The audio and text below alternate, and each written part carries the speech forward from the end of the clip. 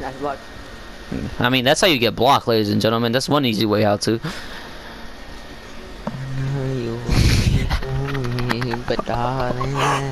I'm clipping that, bro.